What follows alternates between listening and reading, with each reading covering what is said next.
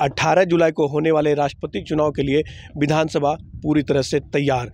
विधानसभा सचिव सैयद जावेद हैदर ने कहा है कि कल रात ही बैलेट बॉक्स, बैलेट पेपर आ चुका है और उसे स्ट्रॉन्ग रूम में रख दिया गया है निगरानी में, ताकि किसी भी प्रकार का गड़बड़ी ना हो। और उन्होंने यह भी कहा कि जो चुनाव का समय है सुबह दस बजे से लेकर शाम पाँच बजे तक जो जितने भी झारखंड के विधायक हैं निर्वाचित और सांसद, वो आके यहाँ पे मतदान कर सकेंगे। और हम आपको बताना चाहेंगे जो एनडीए के जो उम्मीदवार हैं, द्रौपदी मुर्मू, वो प्रत्याशी है दूसरे विपक्ष की ओर से यशवंत सिन्हा को प्रत्याशी के रूप में घोषित किया गया है।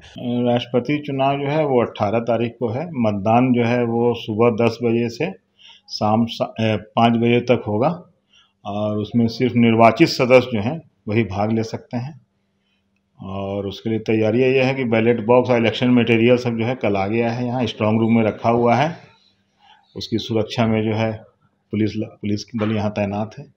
अगर बात करेंगे द्रौपदी मुर्मू झारखंड की राज्यपाल रह चुकी है छः साल उनका कार्यकाल रहा है और दूसरी तरफ़ बात करेंगे विपक्ष ओर से यशवंत सिन्हा, जो पूर्व में केंद्रीय मंत्री भी रह चुके हैं और हजारीबाग से सांसद रहे, उन्हें विपक्ष ने अपना उम्मीदवार घोषित किया है। और देखना होगा कि जब चुनाव अट्ठारह को है तो किनका पलड़ा भारी होता है, वो आने वाला वक्त बताएगा। कैमरा सहयोगी धर्मेंद्र के साथ Manisha, news wing, Ranchi.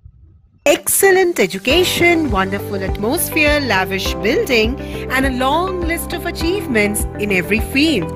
Yes, one of the best schools in Jharkhand, BNSDAV Public School Giridih, continues to enroll. Enrollment is going on for classes nursery to standard 9 and standard 11. So, enroll your children today and let them touch the heights of the sky.